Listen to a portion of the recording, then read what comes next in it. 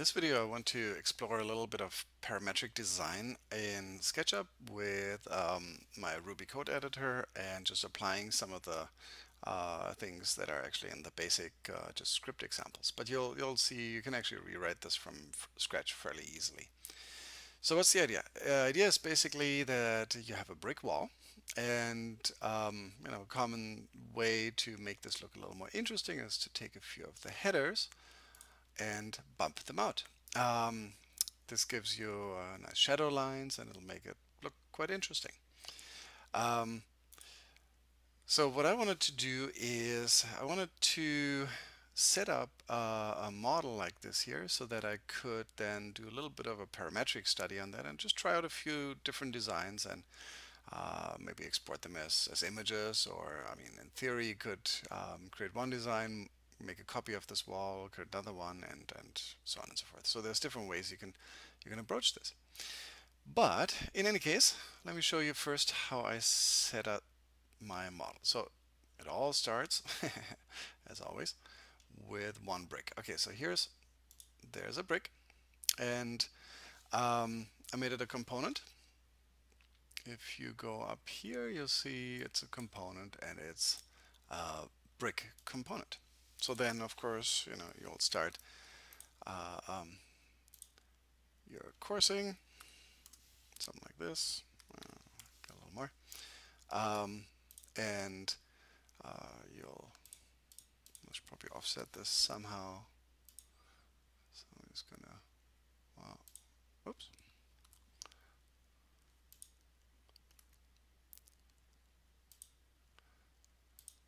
Do this in by two inches.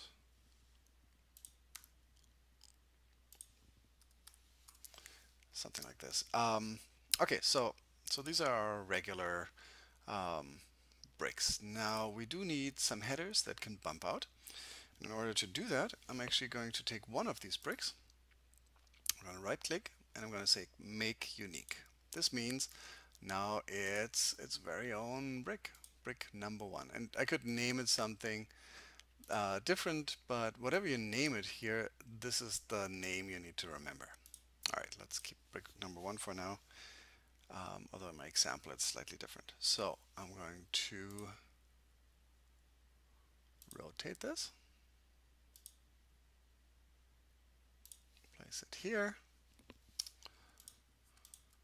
you know, and just adjust right there and then I'm going to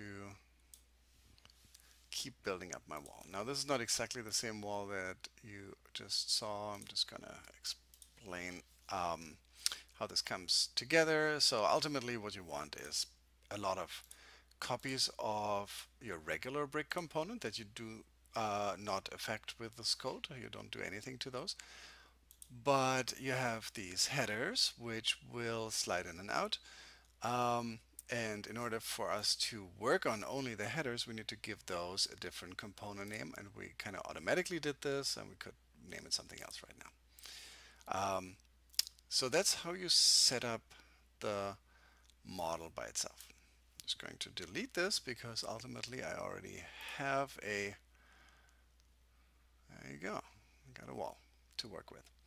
Um, okay, so now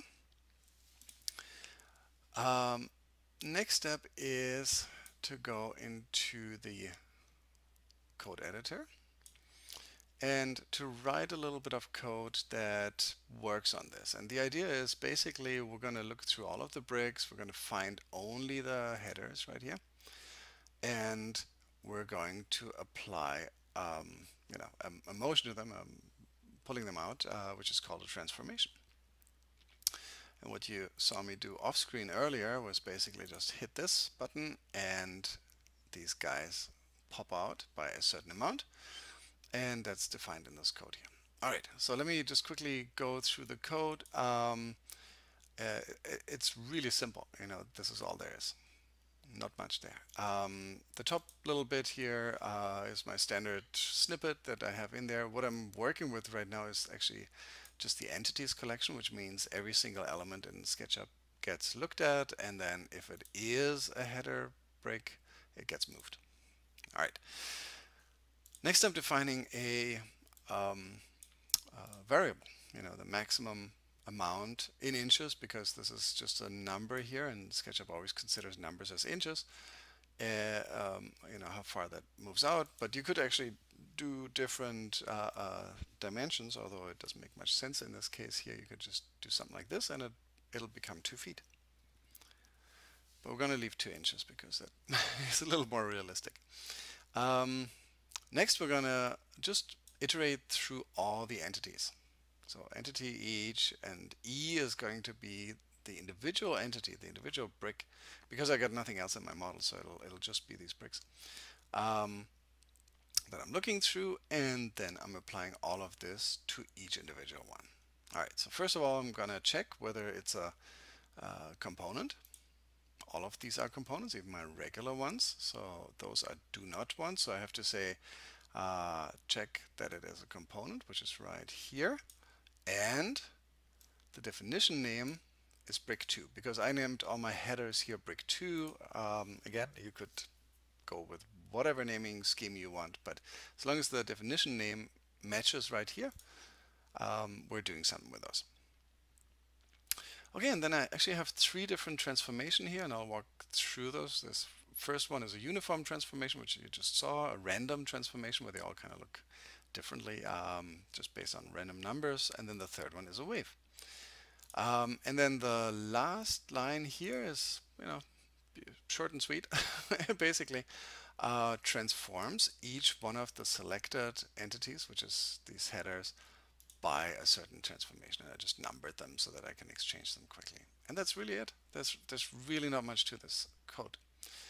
So how does this work? So now I'm going to pull this to the side a little bit and show you what happened. So the first one is the uniform transformation. So I basically down here said T1 which gives me a uniform transformation because it says in this line here T1 is uh, a new transformation, a translation actually and then you need to give it a vector x, y, z. x is the red axis y is the green axis and z is the blue axis. So since I want to bump this out from this wall, it's the y axis that I'm working with and I have to put a little minus there because I'm pulling it out towards me. You know, you could flip the whole thing around if you want to, but but uh, by default, you know, as you all know, the green axis goes into the field in SketchUp and this has to be minus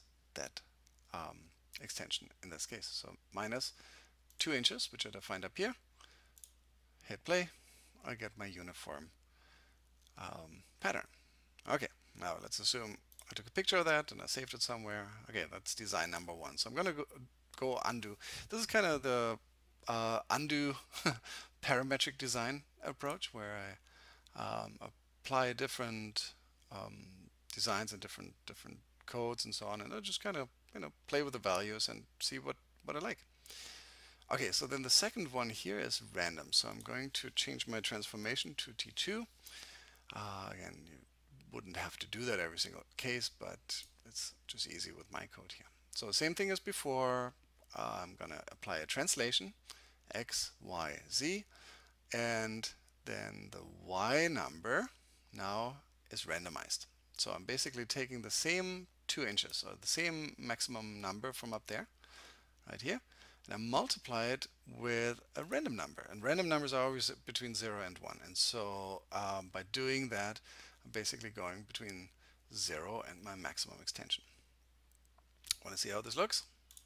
Hit play. Do you like the design? If you don't like it, hit undo, hit play again. Hit undo. You could change the value now just so that we see it a little more. So I'm going to change my maximum extension to 4 and here you go. Pretty easy, right? So this way you get a reasonably, you know, real random. Now you could debate whether the random num number generator is actually giving you random numbers, but um, but uh, this gives you a random distribution, which is very easy to do with a little bit of code. Okay, so I'm going to do undo again and switch my maximum extension back to 2, otherwise we're kind of pushing these out too far. And then the third option here, I wanted to have basically a sine wave, you know, in and out, kind of undulating um, approach. So this gets a little more involved, but it's, it's really not that hard. So first of all, I need to get the position of these um, of these headers because ultimately I'm gonna move them in and out based on that position. So position, um, uh, uh, I'm basically going with the center of the boundary box um, or bounding box, which is uh, that every entity has a bounding box which encloses it and SketchUp can easily get the center and that's a that's a point 3D so it's basically a position that I can use by simply saying position dot x. Very simple. Alright so now this is where the fun is is basically in this line. So the extension is ignore the two at the beginning. So we're doing a sine function of the x position. So the further we are in the x direction along the red axis you know the more this changes, but uh, gets modulated by a sine function. And then I'm going to add to that a sine function in the z direction, in the blue direction. So the further up I go, the more that gets modulated.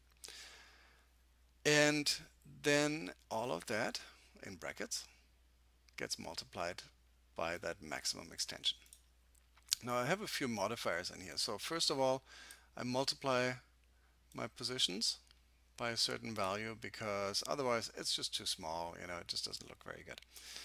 Uh, and play with this you know multiply divide. There's all kinds of ways you can do this. You can do sinus here cosine there or whatever you know any any kind of um, formula. Then at the beginning this 2 basically means that I'm going to have a minimum extension of 2 so it's 2 plus whatever this is. So ultimately this can go up to you know uh, 4 uh, a higher number um, than than than just the two than these other two. So you might have to play with the maximum extension a little bit.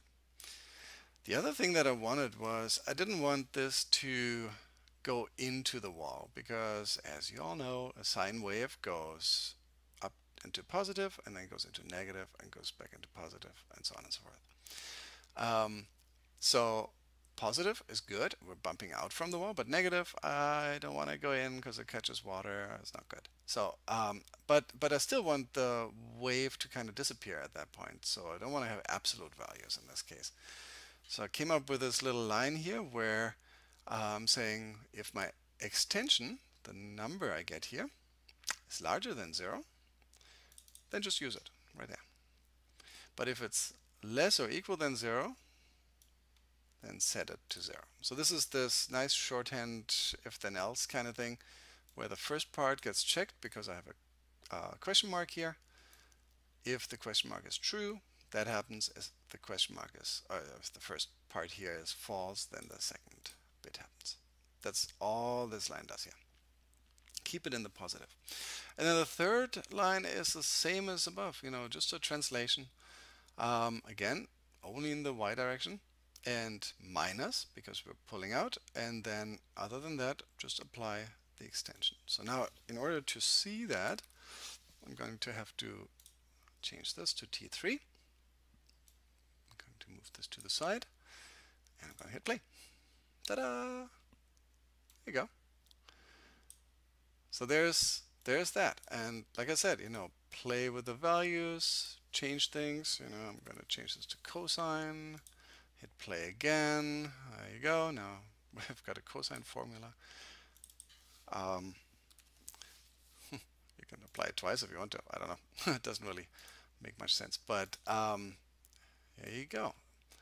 There's a lot of fun you can have with this. And it's a really fast and easy way to do uh, a quick parametric design where part of it is just plain old modeling and part of it is very simple scripting.